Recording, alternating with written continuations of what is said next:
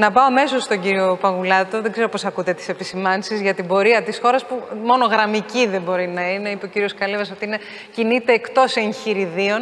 Εσείς που θα επιλέγατε να σταθείτε, κύριε Παγουλάτη, σε αυτή την απόπειρα αξιολόγησης, αποτίμησης; Ε, εγώ θα εκμεταλλευτώ τη σοφία των προηγούμενων ομιλητών για να μην επιχειρήσω να απαντήσω εξαντλητικά στο ερώτημα. Περιορίζομαι στο ότι θα έδινε ένα θετικό πρόσημο ε, στο ερώτημα αυτό, αλλά θα προσπαθήσω να εξηγήσω γιατί αυτό συμβαίνει, ε, εστιάζοντας σε πέντε σημεία. Και η προσέγγιση μου αφορά την περίοδο της μεταπολεμικής ανάπτυξης της, της μεταπολεμικής Ελλάδας και την μεταπολίτευση. Σημείο 1. Η στρατηγική πρόσδεση της χώρας σε έναν ισχυρό εξωτερικό περιορισμό, μεταπολεμικά το γεωπολιτικό στρατόπεδο της Δύσης κατά τη μεταπολίτευση στον εξωτερικό περιορισμό της Ευρώπης, έδωσε στην Ελλάδα ένα έρμα στρατηγικής σταθερότητας, το οποίο απουσίαζε από τον ευμετάβολο κοινωνικό και πολιτικό της κορμό, που δεν μπορούσε να δράσει πολλές φορές προδραστικά, που είναι ίσως η λέξη που αναζητούσε ο κ. Διαμαντούρος. Ε, μείωσε βαθμούς εθνικής αυτονομίας, ε, χειρότερη από αυτή πάντως που προτείνατε τώρα που το ξανασκέφτομαι, ε, μείωσε βαθμούς εθνικής αυτονομίας, διατήρησε όμως την Ελλάδα σε μια σταθερή τροχιά σταδιακής και εν τέλει επιτυχούς ενσωμάτωσης στο δυτικό και διεθνές σύστημα. Είχε ως κόστος περιόδους ακραίας κοινωνικοπολιτικής πόλωσης, απέτρεψε όμως ακραία καταστροφικές κρίσεις.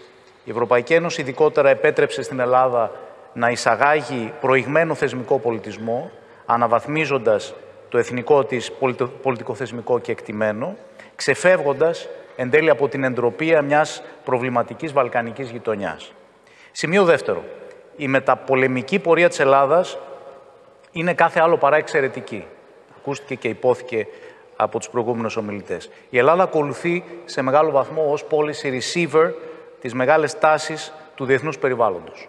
Κατά τη μεταπολεμική περίοδο, η μεταπολεμική εμπέδωση της δυτικού τύπου δημοκρατίας, έστω και μιας ατελούς δημοκρατίας, μέσα από τη δημιουργία μιας ευρείας μεσαίας τάξης, αντανακλά τα αντίστοιχα δεδομένα στις ευρωπαϊκές χώρες. Στην περίπτωση Ελλάδας, αυτή η εμπέδωση μεσαίας τάξης δεν ε, προήλθε από ένα οργανωμένο κοινωνικό κράτος το οποίο χρηματοδοτεί το από μια ανεπτυγμένη φορολογική βάση, αλλά από ένα συνδυασμό πελατειακού κρατισμού και ρυθμιστικής ανοχής που επέτρεψε λόγω χάρη την ανωδική κοινωνική κινητικότητα μέσω οικιστικής ανάπτυξης και αντιπαροχής, μέσω της προστασίας μικρής ε, ιδιοκτησίας και μικρής επιχειρηματικότητας, όχι ιδιαίτερα παραγωγικής, αλλά εν πάση περιπτώσει βιώσιμης στο προστατευτικό πλαίσιο της μεταπολεμικής περίοδου. Η Ελλάδα είναι συμβατή με τα ρεύματα της μεταπολεμικής περίοδου και ως προς την έμφαση στην εκβιομηχάνηση, η οποία βεβαίως δεν πήγε πάρα πολύ μακριά, αλλά ήταν το μεγάλο εγχείρημα ε, της μεταπολεμικής περίοδου και ως προς τη χρήση αναπτυξιακών developmental παρεμβατικών θεσμών και υποκατάστασης των εισαγωγών. Η συμφωνία βέβαια σύνδεσης με την ΕΟΚ το 1961 εισάγει έναν ήπιο εξωστρεφή προσανατολισμό στην οικονομία. Η μεταπολεμική ανάπτυξη συνολικά είναι εντυπωσιακή. Η Ελλάδα περνάει από αναπτυσσόμενη σε μεσαίο εισοδήματος οικονομία κάπου στη δεκαετία του 70, δοκιμάζεται από τις κρίσεις του 1973, όπως και άλλες χώρες του, του Bretton Woods, και μεταβαίνει στη δημοκρατία το 1974 παράλληλα με την Ισπανία και την Πορτογαλία. Επομένως, σε όλα αυτά η Ελλάδα ακολουθεί μια παράλληλη διαδρομή με τις άλλες ευρωπαϊκές χώρες, κάθε άλλο παρά εξαιρετική. Σημείο τρίτο. Η εξέλιξη της Ελλάδας οδηγείται από συγκεκριμένες στην κάθε περίοδο κυρίαρχες προτεραιότητες ή κυρίαρχα εγχειρήματα, αν θέλετε. Στη μεταπολεμική περίοδο η ανάπτυξη είναι ο κύριος στρατηγικός στόχος ε, στο οικονομικό πεδίο στην υπηρεσία το οποίο επιστρατεύεται μια σειρά εργαλείων θεσμικών και εργαλείων οικονομικής πολιτικής. Μετά το 1974 η εμπέδωση της δημοκρατίας, στη δεκαετία του 80 θα έλεγα η κοινωνική, πολιτική και συμβολική ενσωμάτωση των ιτημένων του εμφυλίου, στη δεκαετία του 90 ο εξευρωπαϊσμός της οικονομίας, η ονομαστική σύγκληση και μέσω της ενιαίας αγοράς η ενσωμάτωση στην οικονομική διεθνοποίηση. Στη δεκαετία του 2000 η προσπάθεια αξιοποίησης του ευνοϊκού πλαισίου του ευρώ, διεθνείς αγορές χρέους, χαμηλά επιτόκια για τη φτηνή χρηματοδότηση της ανάπτυξης. Καταρχάς δείχνει επιτυχής, εν μέρει είναι επιτυχής, αλλά καταλήγει στη μεγάλη κρίση του 2009-2010 λόγω υπερεπέκτασης του δημόσιου χρέους, αλλά κυρίως θα έλεγα λόγω δομικών αδυναμιών και μακροοικονομικών ανισορροπιών της Ευρωζώνης, που καταλήγουν στην εξωτερική υπερχρέωση της Ευρωπεριφέρειας και στο κράχ που λαμβάνει τη μορφή του, του λεγόμενου sudden stop, της, ξαφνικής, του ξαφνικού, ε, ε, της ξαφνικής παύσης ε, των κεφαλαιακών εισρώων.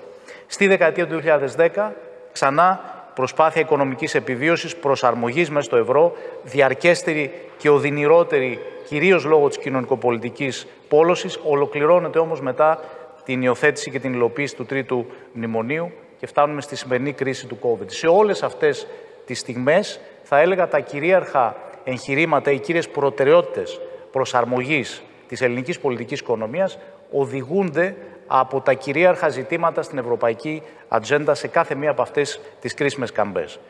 Σημείο 4, και επανέρχομαι στη σημασία του ευρωπαϊκού πλαισίου, μια χώρα με ρηχούς κρατικούς θεσμούς, με αδύναμη οικονομική διακυβέρνηση, με ισχυρή παράδοση πελατειασμού, εισάγει θεσμική συνέχεια, σταθερότητα μέσα από την αγκύρωσή της στο ευρωπαϊκό θεσμικό κεκτημένο και την ενσωμάτωσή του στο ελληνικό θεσμικό σύστημα.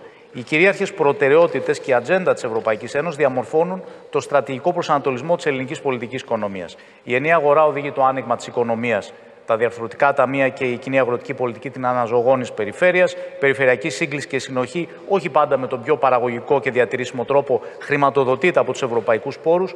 Σε όλη αυτή την περίοδο η Ελλάδα ε, έχει καθαρές εισρωές εισοδήματος από την Ευρωπαϊκή Ένωση μεταξύ 1,5 και 2,5% του ετήσιου ΑΕΠ της. Το Μάστριχ και το πρόγραμμα ονομαστικής σύγκλησης ΟΝΕ οδηγούν τη δημοσιονομική εξυγίανση και νομισματική σταθεροποίηση κατά τη δεκαετία του 90 και εδώ η Ευρωπαϊκή Άγκυρα Σταθερότητας και Δέσμευσης και Περιορισμού αφορά βέβαια τις εγγυημένες εγγύσεις, τις αυξημένες εγγύσεις νομισματικής και αντιπληθωριστικής αξιοπιστίας που έφερε η πρόσδεση στο Μηχανισμό Νομισματικής Ένωσης και Δημοσιονομικής Πειθαρχίας που έφερε η ΟΝΕ. Ε, χώρες με παράδοση ασθενούς νομίσματος, συναλλαγματικής αστάθειας, δημοσιονομικών ελλημάτων όπως η Ελλάδα και άλλες χώρες του Νότου προσέβλεπαν στα πλεονεκτήματα αυτής της εισαγόμενη αξιοπιστίας. Θα έλεγα ότι η στρατηγική αυτή επιλογή δικαιώθηκε, ακόμα και λαμβάνοντας υπόψη την κρίση του 2009-2010 και το γεγονός ότι με όρους ΑΕΠ βρισκόμαστε έχοντας χάσει περίπου τα τελευταία 20 χρόνια ε, ανάπτυξης ως ε, απολογισμό αυτής της κρίσης. Η πρόσδεση της νομισματικής πολιτικής στο ευρωπαϊκό πλαίσιο, κατά κυριολεξία στο γερμανικό μάρκο μετά το 1995 και η εξάλληψη των πρωτογενών δημοσιονομικών ελλημάτων μεταξύ 1994 και 2002, συνυπήρξε με πολύ υψηλότερους ρυθμούς ανάπτυξης της οικονομίας, εάν τη συγκρίνουμε με την περίοδο της νομισματικής και συναλλαγματικής αυτονομίας, της διολίστησης, της συναλλαγματικής, του διψήφιου πληθωρισμού, διψήφιος μέχρι το 1994 και των διψήφιων ελλημάτων και της οικονομικής στασιμότητας καθ' όλη την περίοδο από το 1980 με τις αρχές ε, της δεκαετίας του 1990.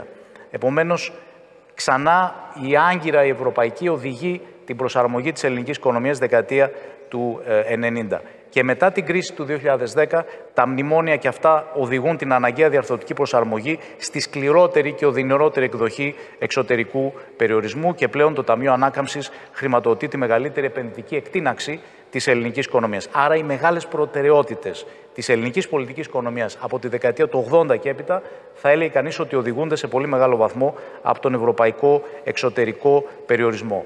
Αποκλειστικά ελληνικής κυριότητας παραμένουν τα δύο κυρίαρχα εγχειρήματα της πρώτης ε, μεταπολιτευτικής περίοδου. Ο πολιτικός εκδημοκρατισμός μετά το 1974 και ο κοινωνικός εκδημοκρατισμός μετά το 1981. Και τα δύο όμως επιβοηθήθηκαν εξαιρετικά καταλητικά από το πλαίσιο σταθερότητας και τους οικονομικούς πόρους της Ευρωπαϊκής Ένωσης. Σημείο 5, τελευταίο σημείο, ο ρόλος της Ευρωπαϊκής Ένωσης ως ρυθμιστικού και συστημικού πλοηγού των μεταρρυθμίσεων και του μετασχηματισμού της ελληνικής πολιτικής οικονομίας μετατρέπει την Ευρωπαϊκή Ένωση σε αποδιοπομπαίο τράγο για τις ανακατατάξεις της ελληνικής οικονομίας και κοινωνίας. Αναδύεται έτσι με αυτόν τον τρόπο ως ενίοτε καθοριστική η οριζόντια διαιρετική τομή στη βάση του άξονα και θα το πω κάπως χονδροειδώς για να συνεννοηθούμε του άξονα εθνικολαϊκισμός versus ευρωεξυγχρονισμός. Η χθεσινή καθημερινή περιγράφει ένα χαριτωμένο περιστατικό ο Υφυπουργός Περιβάλλοντος που προωθεί τη σύνταξη δασικών χαρτών πέφτει αντιμέτωπος με εξαγριωμένους μανιάτες. Ίσως είναι ενδιαφέρον ότι είναι μανιάτες. Το λέω με την ασφάλεια ότι δεν έχουμε μανιάτες στην ε, ομίγυρή μας, οι οποίοι φωνάζουν ρυθμικά «Δασαρχείο, δασαρχείο, της Μέρκελ το εργαλείο».